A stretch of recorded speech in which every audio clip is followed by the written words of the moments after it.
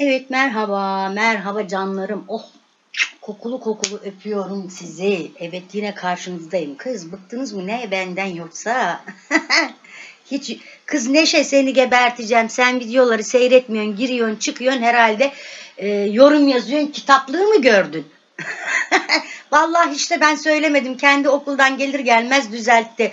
Hiç yorum yapmıyorsun videoya. Kesin sen bunu giriyorsun, çıkıyorsun asla e, dinlemiyorsun. Alacağın olsun senin. evet nerede kalmıştık Ee, dün? Arkası yarın diyelim. Kapıda. Evet kapıda kalmıştık. Ee, Neyse ben e, tabii aradan e, 10-15 gün geçti. Tabii hep orada e, kalacak hali yok. 3 gün bekledi. E, gitti. Ve dedim ben anneme gideceğim. Anneme gittim. Anne dedim durum böyle böyle. E, İşte artık annem tamam dedi. Şey yapma dedi. E, Belli ki dedi vazgeçmeyeceksiniz dedi. E, Ben konuşurum işte babamla bir şeyler yaparız. Ama dedi en azından ailesinden birisi gelseydi falan filan. Tabii aradan zaman geçti. Babam annemle babam konuşmuş, annem konuşmuş. E, tabii biz bu süre zarfında artık görüşme kesildi. Bir iki kere görüşebildik. E, Onun da dışarıda da görüşemiyoruz, konuşamıyoruz. Benim e, nur içinde yatsın. E, vefat etti. En büyük eltim. E, kapı çaldı bu arada. Evet, e, hava çok e, yağmurlu olduğu için Feyza erken gelmiş. Son dersleri de bedenmiş. Dedim ben de bu saatte hayırdır kim geldi? Neyse tabii biz bu arada e, dediğim gibi en büyük eltim e, vefat etti. E, nur içinde yatsın. Oraya gittik. Dışarıda falan değil. Bir kere götürdü. Artık ama o da e, bir kere daha gittik. İkinci, üçüncüye gelmeyin dedi. Kayınvalidem rahmetli duymuş. Onlar ne? Benim olsun diye de mendil. Çabuk ayakların buz gibi. Hadi onları koy hemen değiş üstünü. 18 tane ıslak mendil aldım. İyi aferin. Hava felaket döktürüyor. Feyza erken geldi. Saat daha bir buçuk. Ona şey yaptım baktım. Neyse tabii Eltim'e gittik bir kere. Ee, ikinciye gittik. Üçüncüye demiş. Demiş e, biraz e,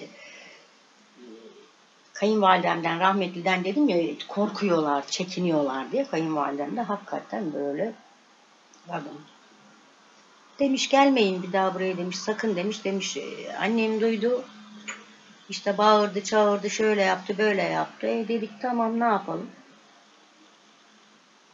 Bu olanlardan abimin haberi yok yok yok.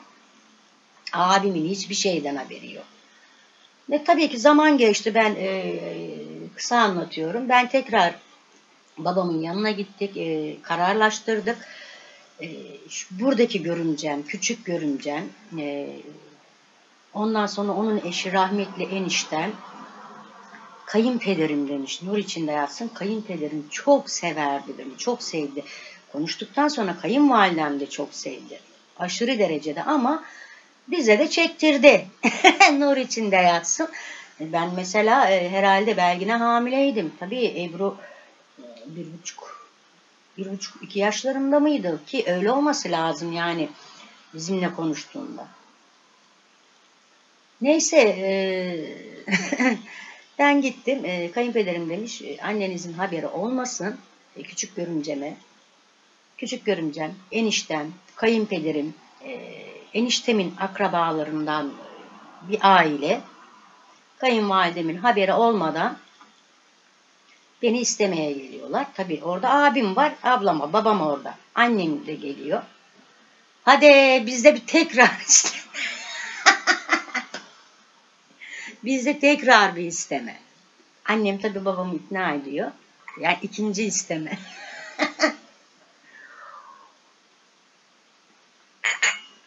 Neyse tekrar ilişkiler takıldı. İşte e, güzel bir aramızda eğlence falan filan derken şimdi bu sefer annemi, annemi aldım ya yanıma arkama korkmuyorum. Yani ikna etti çünkü babam. Takıldı şimdi eşim hep sabırsızlanıyor.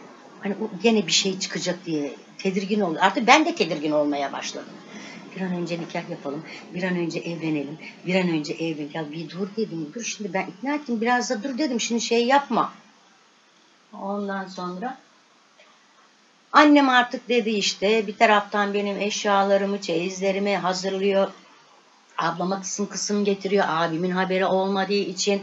Çünkü abimi ezip geçiyorum. Ee, Bir de ezip geçmeyi bırak.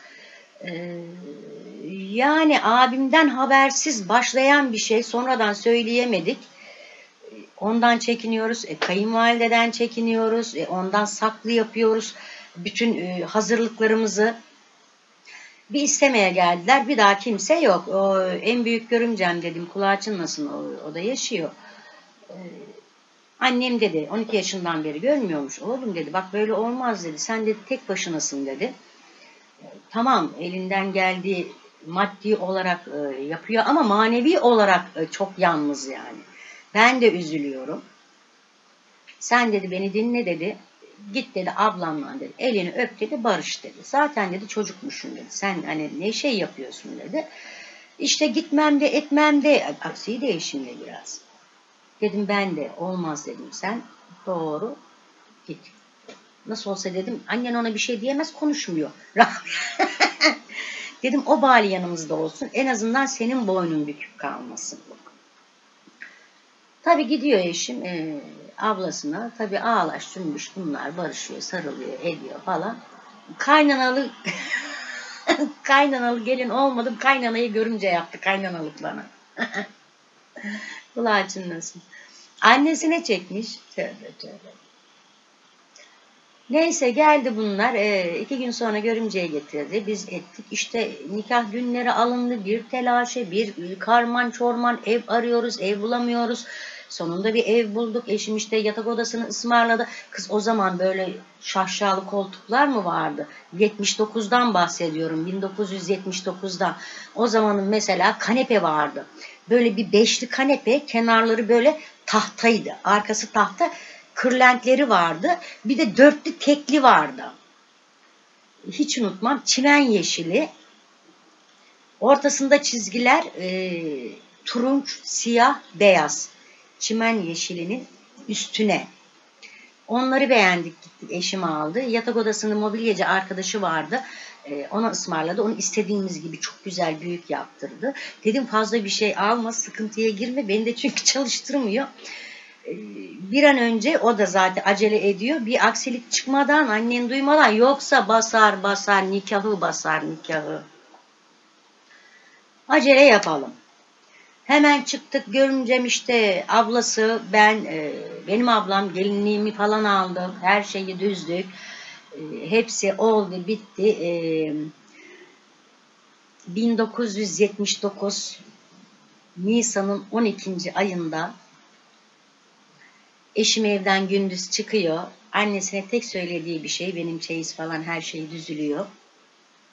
Benim bugün nikahım var. Kültür Park'ın içinde. İstiyorsan gel. Eline sadece birkaç tane eşyasını komple çıkaramaz anlayacak çünkü. İstersen gel. Sana kalmış bir şey diyor. Eline çantasını alıyor çıkıyor.